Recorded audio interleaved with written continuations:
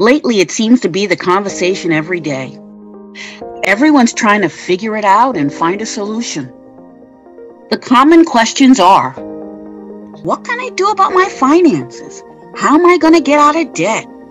What should I do about my credit card score? How can I buy a home? My children are getting ready for college and I'm just not ready yet.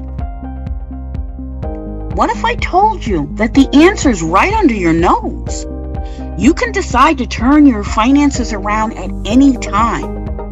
Not by buying a product, not by buying some new membership, but by understanding that there's a tool that can fix it, protect your family with no risk and guarantees. You just need the knowledge and a plan. Then the solution grows as you do. Learn more and change your conversation.